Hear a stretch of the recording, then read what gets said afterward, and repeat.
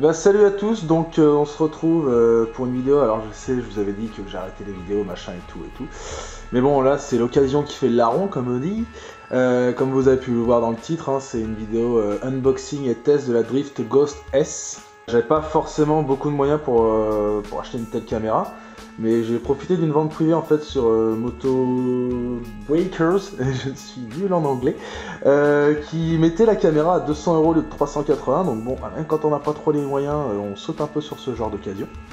Donc ça, petite euh, de comparaison, c'est mon ancienne caméra, donc euh, qui fonctionne toujours, hein, je tiens à le dire, mais qui commence à montrer des petits signes de fatigue suite à l'accident, c'est-à-dire que euh, des fois elle s'éteint toute seule et elle refuse des fois même de s'allumer. Donc euh, pour l'instant, je l'utilise euh, en guise de dashcam dans, dans la voiture. Euh, je pense, quand j'aurai une moto, l'utiliser comme seconde caméra pour quelques petits projets personnels. Donc on va commencer tout de suite. hein. Donc ça c'est batterie supplémentaire, vous ne l'aurez pas si vous ne commandez que ça. Donc je tiens à préciser que je l'ouvre en même temps que vous. Ça se sent d'ailleurs, c'est raide à chier. Euh, j'ai pas du tout ouvert, j'ai pas testé, donc euh, une boîte en carton euh, classique, quoi, qui contient une boîte qui semble être en plastoc, on dirait. Niveau packaging, on peut dire que c'est quand même assez classieux. parce que ça, donc, c'est un toucher un petit peu pêche en fait. C'est mat, c'est. Non, franchement, c'est joli. Hein. Par contre, j'avais beaucoup plus petite la, Ghost S. Je sais pas pourquoi, mais. Ah, ah, on un peu. Donc, maintenant que ça c'est ouvert, on va essayer de pousser ça. J'imagine que ça fait comme ça. Tu n'es pas invité, le chat. Allez. Que l'un des principaux avantages de cette drift, c'est que justement, comme vous pouvez le voir ici. Bon, t'es chiante, toi. Allez, oust. Attends. Comme vous pouvez le voir ici, c'est qu'il y a donc une fixation universelle trépied. Euh, on peut d'ailleurs voir que la finition, ils ont peint, mais ça s'enlève quand on gratte, c'est pas, pas tip top, mais bon, c'est pas non plus, c'est pas non plus dramatique. hein. Alors dans la boîte, qu'est-ce qu'on a d'autre? On a ah donc la fameuse télécommande Drift, très pratique, avec euh, rappel de couleur sur le côté. Et ici, on a pour charger, puisque s'il n'y a pas de pile dedans, c'est à batterie. Apparemment, la batterie tient très bien, d'après ce que j'ai pu en lire. Euh, comment ça s'ouvre? Voilà. Ah, beau packaging. Franchement, c'est bien rangé, c'est... Ah, franchement, c'est propre. hein. Donc ça, c'est du jack. C'est une petite rallonge jack pour, euh, un micro. C'est bien de l'avoir mis. Euh, ah, bien, le bracelet pour la télécommande. Chose que je n'avais pas dans ma PNJ Cam. Ça, c'est une fixation incurvée. Fixation plate. La batterie.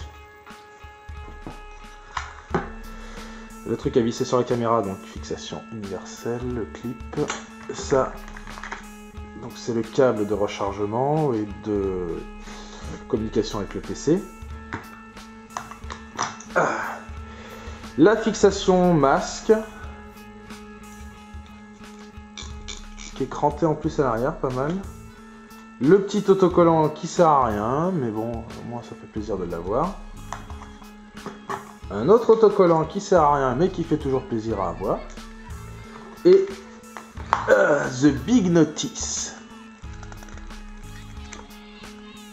Donc on va déjà mettre en place la batterie, histoire de voir. C'est là que ça ne fonctionne pas. C'est le fail, mon chef. Faut pas non plus oublier que cette batterie présente l'énorme avantage. Ça se met dans quel sens? Cette batterie présente l'énorme avantage d'être étanche sans boîtier à 3 mètres.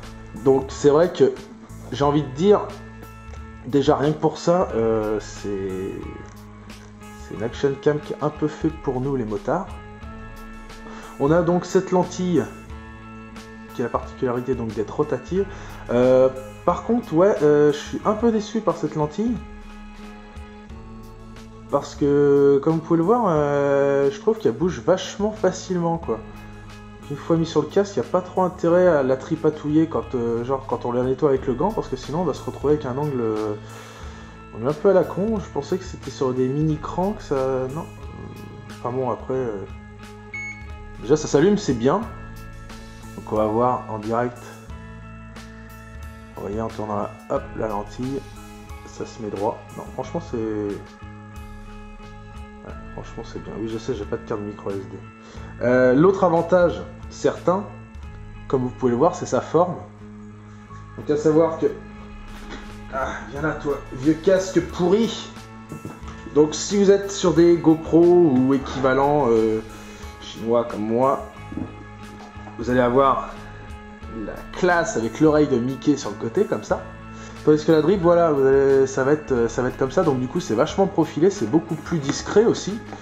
Et euh, sera peut-être d'ailleurs ici.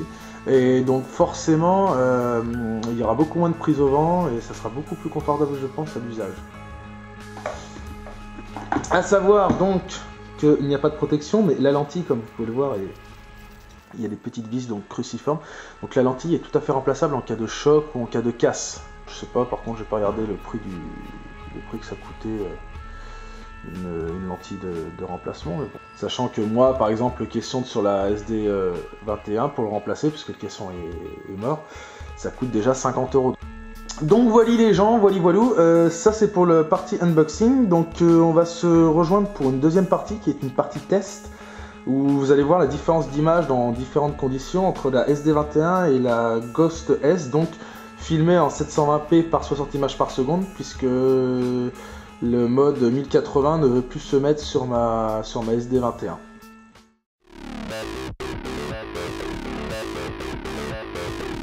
We'll be.